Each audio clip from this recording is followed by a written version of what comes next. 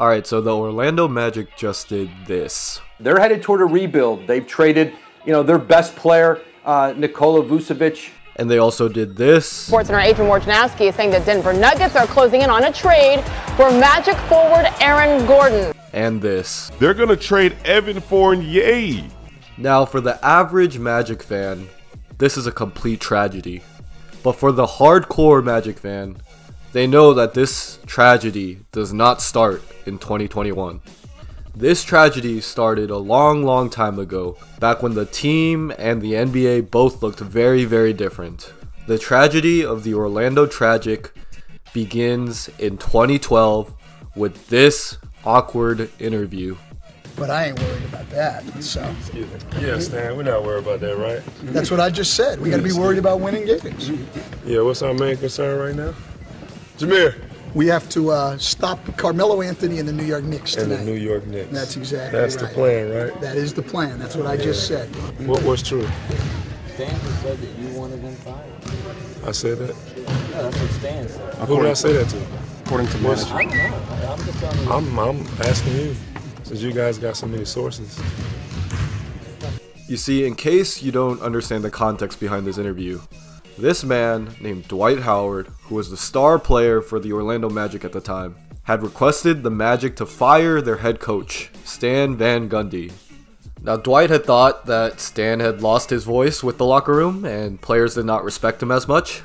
And I guess he had forgotten that just three years before this moment, that Stan had led Dwight and the Orlando Magic to the NBA Finals. So now the front office had a choice. Do they side with Dwight and fire Stan? Or do they side with Stan and make Dwight stick with him? They made the wrong choice. They chose Dwight and fired Stan Van Gundy. Now, why was this the wrong decision? Well, Dwight would ask for a trade anyways after the firing of Stan Van Gundy.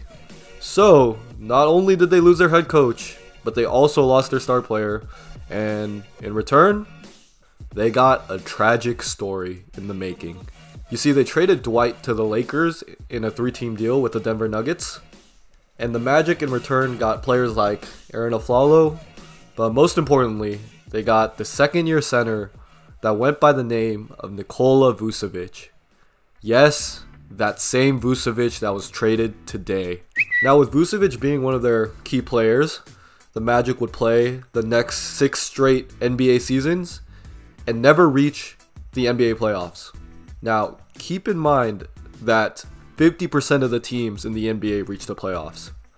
That shows just how inept this franchise was at running a team. For six straight years, they were bad.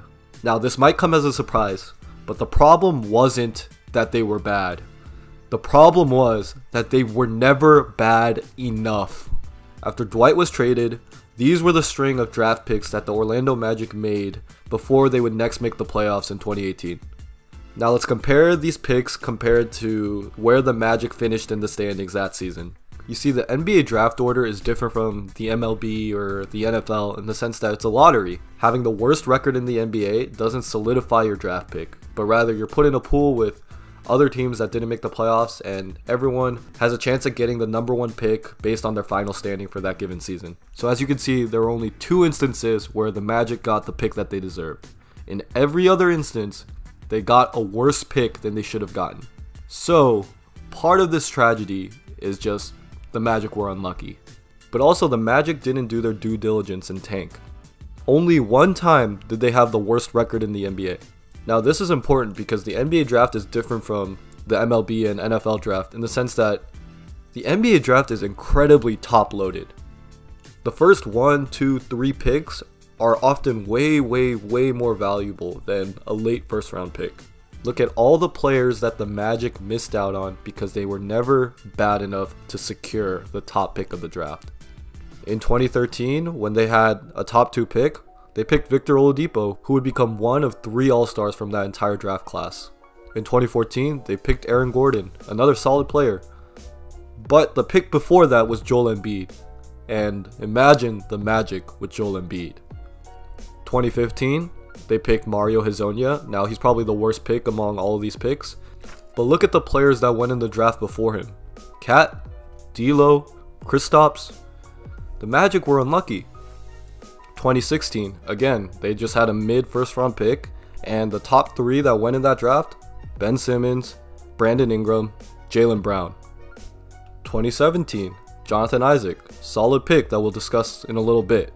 But the top five in that draft class Lonzo Ball, Jayson Tatum, De'Aaron Fox. The Magic could have looked incredibly different if they just swallowed a little bit of humble pie and said, okay, we're gonna tank. But even still, they managed to build a solid team this year.